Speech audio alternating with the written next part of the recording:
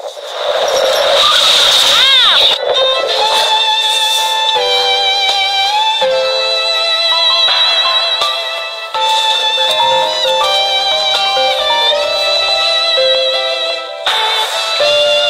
堂姐，怎么了？梦楠，我骑车翻了，你过来帮忙我抽一下车。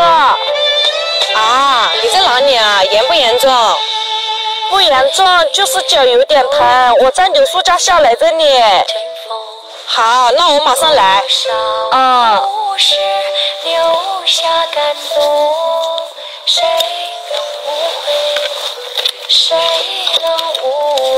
梦楠。你这么慌慌张张是要跑去哪里呀？堂姐说她不小心骑车翻了，我去看一下。在哪里呀？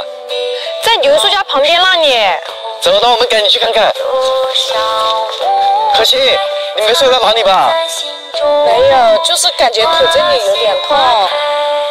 你老实说，还睡到其他地方没有？是啊，如果睡到哪的话，我们好带你去医院看看，省得以后有什么后遗症。没有那么严重。叫你一天做事小心点，你对不听？万一把腿摔断了怎么办？我又不是故意的。堂哥，你就别说堂姐了，只要人没事就好了。木兰，如果不说他，他永远做事都是粗心大意的。一天就像个老太太一样，话真多。一次说你两句还不能说呢。来来来。堂哥，来，我们两个把这个车抽起来。你来看着可心，我一个人抽就行了。行嘛。堂姐，你自己还能不能走路？慢点走，还是能走的。走不了就别逞强，我来背你吧。不用，梦兰扶着我走就可以了。堂姐，那我们走吧。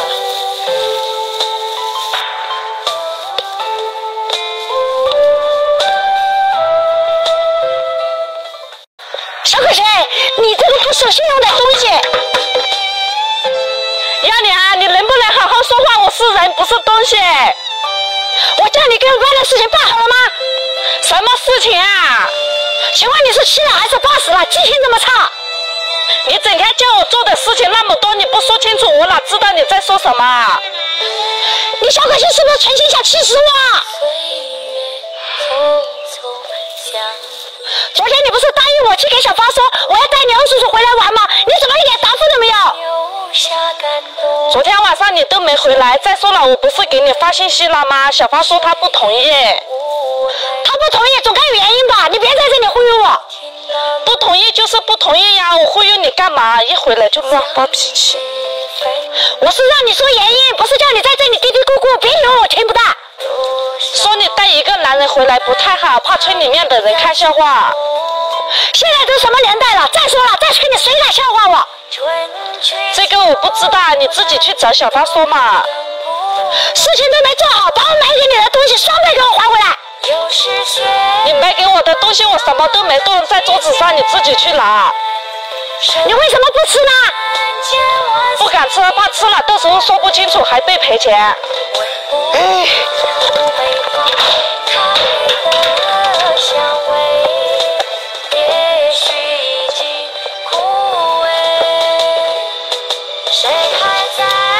堂姐，这大伯要这么多挖黄瓜干嘛？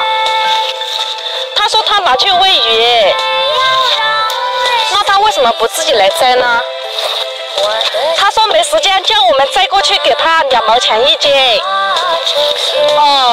可以，反正这些弯的黄瓜也卖不了什么价钱。对啊，摘点卖给他们，能挣一点算一点。嗯，也是。对了，堂姐，你今天看见婆婆回家来没有啊？已经回来了，跟我吵了一架，她就去睡觉了。哎，她晚上不回来也不说一声，害小芳昨天晚上担心她那么久。担心她干嘛？她除了去找二叔叔，还能去哪里啊？管他的了，我们快摘吧。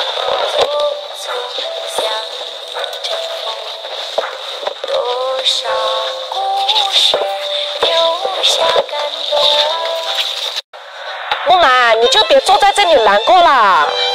团姐，我心里面有好多说不出来的苦，我感觉小花这段时间像变了一个人一样。我知道的，实在不行你就出去散散心嘛，或者去你妈那里顺便陪陪蕊蕊。我不想去我妈他们那里，我不想让他们知道我过得不好，担心我。那你就不能这样一直看着表妹和小花这样下去，他们有什么做的不好的，你就要说出来，你不说的话，他们永远不知道。表哥，我终于知道嫂子为什么老找你吵架的原因了。什么原因啊，表妹，你快说。如果我没猜错的话，肯定是那个小可心在背后添油加醋。那我得好好去问问。堂姐，我有事情要问你。看你这个样子，你有什么话你就直说吧。你是不是见不惯我跟我家木兰感情好好的？小发，你怎么能这样说堂姐呢？我们两个的事情跟人家有什么关系啊？木兰，我们两个每次吵架都是堂姐在后面乱说话。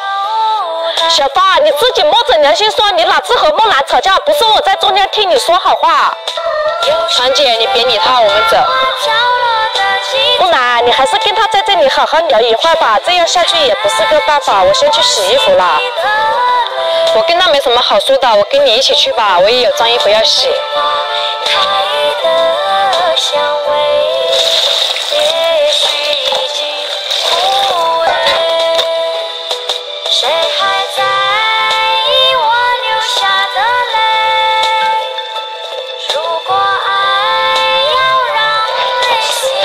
这个洗衣液还挺好用的，不仅泡沫多，而且还挺香的。当然啦，哦，对了，今天给大家分享一款十斤的洗衣液，现在有活动，下单立减二十，到手只需要十四块九毛九。这个是花香除螨洗衣液，非常好用。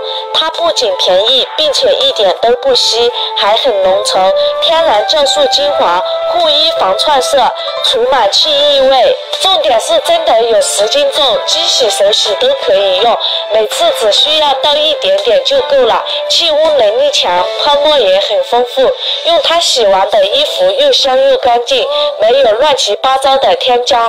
母婴的衣服都可以洗哦。关键是现在价格还划算，这么一大桶十斤只要十四块九毛九，买一次啊够用大半年了。链接呢我就放在下方小黄车了，屏幕前的叔叔阿姨哥哥姐姐们，如果你们也有需要，就拍一单回去试试哦。这么便宜啊！等一下我也要去拍两大桶回来放着慢慢用。好，木兰，我觉得等一下你回去还是要跟小八好好沟通一下。我已经跟他沟通过很多次了，不知道他是听不进去还是不想听。有时候我真的挺不想管你们两个的事情的，但是又看不习惯你受委屈。其实也没什么事的，堂姐，你不用担心。你大老远的嫁到我们家来，怎么能不担心你呢？